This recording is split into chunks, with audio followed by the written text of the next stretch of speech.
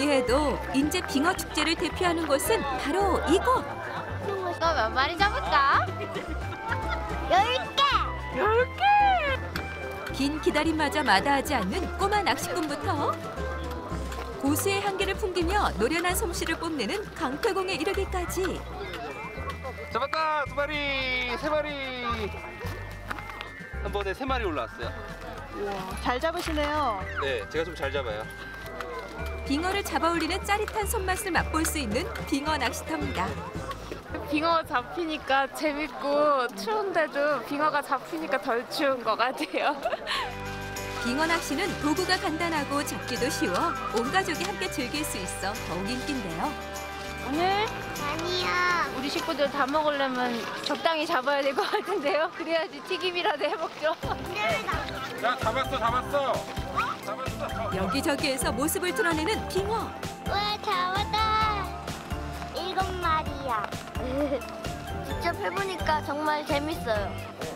즉석에서 잡아 더욱 신선한 빙어를 초고추장에 찍어 그대로 맛보는 가을.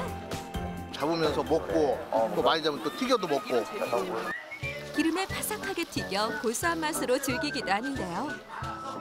아 뜨거. 너무 맛있어요. 재밌고 더 맛있어요. 직접 잡아서 먹으니까. 어떤 방법으로 즐기든 겨울의 참맛을 느끼기에는 충분합니다. 정말 인디에서 너무 멋있고 같이 가족끼리 화목할 수 있는 좋은 축제인 것 같습니다. 정말 재밌습니다. 올겨울 야속하기만 했던 동장군도 이곳에선 환영받는 존재. 맹추위로 인해 만들어진 자연성 놀이터에선 어른아이 할 것 없이 모두가 즐겁기만 한데요. 가자. 얼음 위를 싱싱 달리고 눈속 드라이빙을 즐기며 마냥 행복하기만 한 사람들. 재밌어요. 재밌고 스릴 넘쳐요. 출발할게요. 하나, 둘, 셋, 출발. 짜릿한 봅슬레이 체험도 하며 잊지 못할 추억을 만들어갑니다.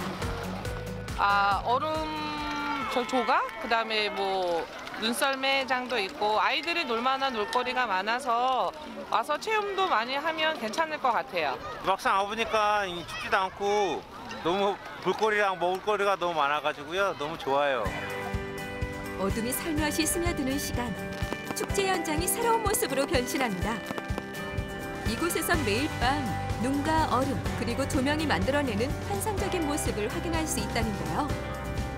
빙어 낚시를 재밌게 즐길 수 있는 것과 그 다음에 눈썰매, 얼음썰매, 얼음봅슬레이 등 다양한 눈과 얼음판에서 즐길 수 있는 다양한 즐길거리가 있고요. 그 다음에 우리가 어린이들, 가족분들이 좋아하실 수 있는 어린이 직업 체험 및 그 자작나무 조육 체험 등이 준비되어 있습니다. 그리고 특히 올해는 야간에 아름다운 경관을 연출을 할 계획입니다. 그래서 겨울의 재미와 낭만이 가득한 인제 빙어 축제는 이번 주말까지 계속되는데요.